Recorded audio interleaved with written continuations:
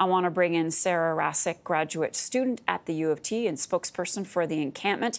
Sara, good morning. You and I spoke last night. We were talking about the 8 a.m. deadline. That has now come and gone. What's the plan now? Right. So the judge actually postponed the hearing of the injunction until tomorrow. We do owe this to community. The OFL led a rally with us earlier this morning where we had hundreds of workers come out. The OFL, of course, that represents over a million workers, 54 unions. Um, it, it, shows admin that the people are on our side. Uh, we have another meeting uh, scheduled with administration at 5 p.m., and we are hoping to continue negotiation with them at that time. How are negotiations going? What, do you, what can you tell us about the latest? Right. So we are continuing to negotiate in good faith. Uh, while another meeting has been set for 5 p.m., we continue to face mounting pressure from admin um, to clear the encampment. They obviously want us gone. They refused to extend the trespass notice deadline, and uh, they will be filing their injunction in the Ontario Superior Court tomorrow, which will give them the cover that they need for TPS to do their dirty work.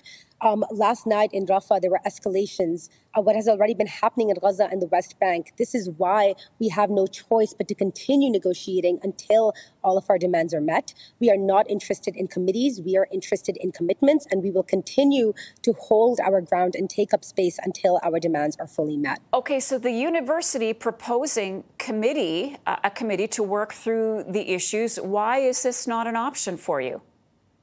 We've been down this road before. Uh, in 2016, after a student-led committee recommended U of T divest from fossil fuels, U of T president's, U of T's president Meric Gertler publicly rejected the committee's recommendation to divest. We don't want a committee that is stacked by the president. Uh, students have gone through the appropriate bureaucratic procedures in the past, these slow bureaucratic procedures, and still U of T admin has said no to their recommendations. And so these are the same processes, the same committees, the same procedures that are being proposed proposed by the same administration. Six years after publicly rejecting the committee's recommendation for fossil fuel divestment, UFT finally publicly committed to doing so. But the difference here is that there is an ongoing genocide. There are people being murdered right now, over 40,000 Palestinians. We do not have six years on our side.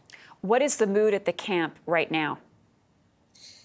Well, we are uh, frustrated at the fact that our demands uh, still have not been met. We are frustrated at the fact that the university, instead intends to continue um, uh, intends to continue to go ahead and file their injunction. The trespass notice remains.